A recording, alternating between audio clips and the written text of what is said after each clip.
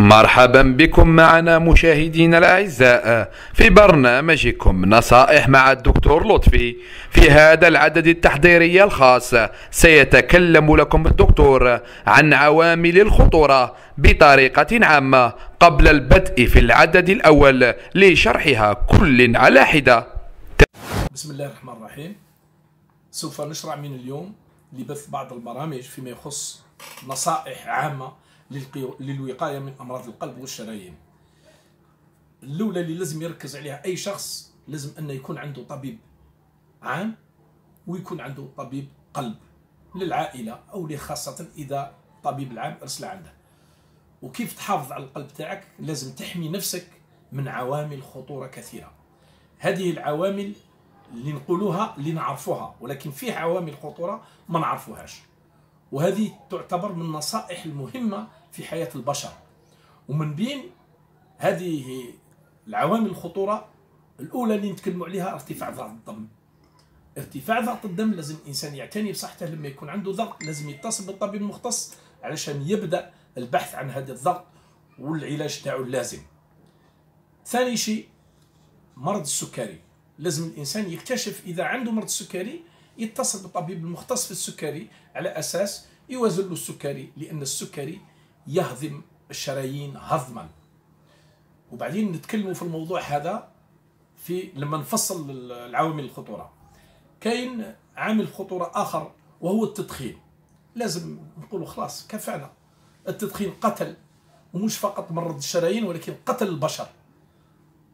والنتيجة تاعو مش جيدة. مش فقط الشرايين بس وإنما أيضا فيه أمراض السرطان أمراض الرئة أمراض المثانة أمراض الكلى أمراض الحنجرة إلى آخره. إذا مش داعي نتكلموا كثير في الموضوع التدخين إلا في حصة أخرى الحين في الموضوع تاعنا.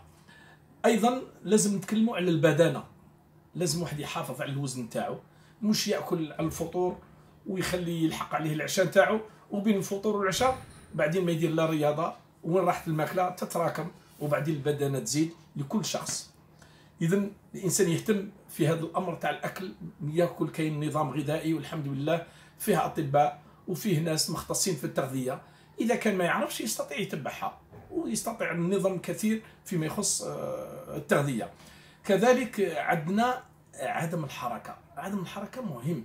إذا الإنسان ما يتحركش هذه من بين آفات اللي تقدر تمرضك تمرض القلب تاعك تمرض العضلات تاعك تمرض الشرايين تاعك. اذا لازم الإنسان ينتبه لازم له يتحرك. كل يوم كل يوم لازم له على الأقل مرتين 30 دقيقة 30 دقيقة. واللي ما يقدرش يخرج لبرا يشوف اللي عنده درج لازم يبحث على وسيلة أنه لازم يعمل الرياضة. لما تشوف الناس في الغرب الرياضة عندهم كعبادة. لماذا عندهم كعبادة؟ لأنهم يعملون الرياضة يوميا. ممكن تجد واحدة عندها 80 سنة تمشي لك بالسايكل وتمشي وتسبقك أنت برجليك اللي في عمرك 35 آه، سنة. وحاجة أخرى من بين عوامل الخطورة الإنسان ينتبه لها وهو كما تسموه أنتم الزعاف الهم. هذا ممكن ما عندك ولا إصابة في الشرايين ولكن لما يكون عندك هم ممكن يعمل لك انسداد مؤقت ويعمل لك ذبحة قلبية وممكن إلى الموت إلى توقف قبل نهائي. وكذلك مشاكل العمل اللي توصل إلى نوع من ستريس يعني الضغط تاع العمل. وإن شاء الله في الحصة المقبلة سوف نفصل عامل خطوره فرد فرد إن شاء الله وإلى لقاء آخر إن شاء الله. أتمنى أنكم قد استفدتم. وأخيرا وليس آخرا فضلا لا أمرا اضغط على زر الإعجاب واشترك في القناة ليصلكم.